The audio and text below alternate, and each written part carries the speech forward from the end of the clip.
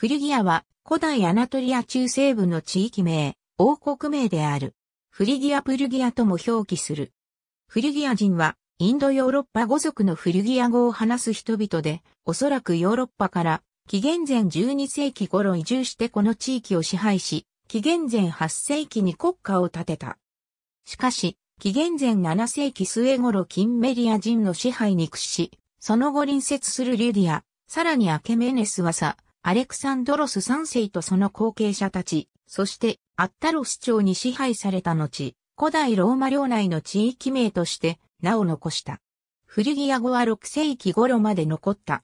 ミダス王の墓、フリュギアはギリシア神話にもたびたび登場する。また、ホメロスのイーリアスなどにも神話的なフリュギアの歴史が登場する。神話中のフルギア王はゴルディアース、またはミダースを名乗っている。また、タンタロスをフリギア王とする伝承もある。トロイ戦争より前に貧しい農夫ゴルディオスが神託に従って初代の王となったという。フリギア人はテルミッソスに祀られたサバジオスの神託に従っていた。彼らは神託により神殿に初めて牛車で来た男を王とした。それがゴルディアスである。彼は車を奉納して縛り付けた。これがゴルディアスの結び目であり、後のアレクサンドロス三世が切った話で有名である。ゴルディアスはアナトリアを縦貫する主要道に臨んで、首都ゴルディオンを建設した。二代目とされるミダースはいろいろな神話に登場する。まず、トラキアにいたミダースはシレノスを助けたことで、ディオニューソスに感謝され、触れたものすべてを黄金にする能力をもらった。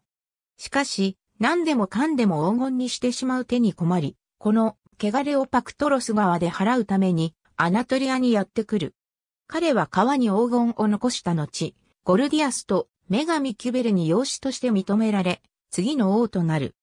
また別の話では、ミダースはアポローンとパーンの音楽合戦の審査員に入ったが、パンの勝ちとしたため、怒ったアポローンにロバの耳をつけられたという。ホメロスによれば、フリュギアははじめサンガリオス川のほとりに建設された。トロイアの王プリアモスは若い頃、フリュギアがアマゾンに襲われた時に、これを助けた。プリアモスの妻ヘカベは、サンガリオス川沿いに住んだフリュギア王デュマスの娘とされる。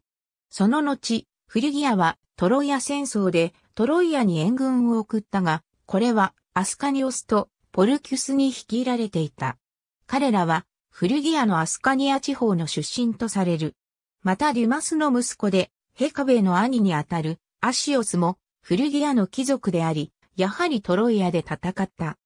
ホメロスの記述では、アスカニアとサンガリオス川沿いのフルギア人の関係は明らかでなく、別の王をいただいていたようにも考えられている。フルギア人は紀元前12世紀頃アナトリアに入ったとみられる。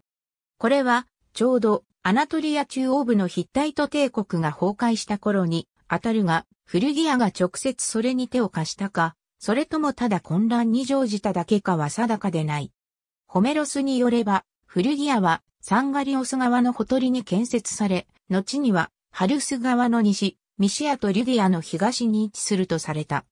紀元前8世紀のアッシリアの記録には、無式の王みたなる人物が出てくるが、これはフルギアのミダス王を指すと考えられている。無式はトラキア西部にいたという部族も、好きと同じとする考えもある。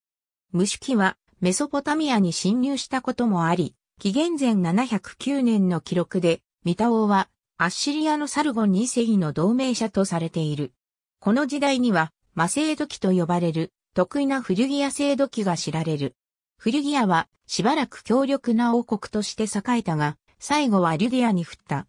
紀元前8から7世紀にかけて、ゴルディアスとミダスを交互に名乗る王のもとに、ギリシャや東方の国々と緊密な貿易関係を維持した。アナトリア東部の覇権はしばしば変化したが、フルギアはそれらと共存できたようである。紀元前8世紀から7世紀頃のキンメリア人のアナトリア侵略によって独立フルギアの歴史は終わった。伝説では最後のオーミダスはキンメリア人の攻撃に相違いしたという。またヘロドトスによれば、首都ゴルディオンは紀元前696年、キンメリア人に破壊されたという。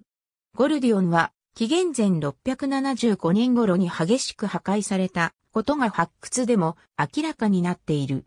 ここでは有名なミダス王の墓が見つかっており、これは巨大な墳丘の下に規格があり、様々な副葬品を含む。ゴルディオンには後にも多くの建設が行われており、これは紀元前6世紀のリディア王アリュアテスによるのではないかと言われる。その後も弱小王国としては存続し、美術や文化は栄えた。キンメリア人はアナトリアに泊まったが王国は作らなかった。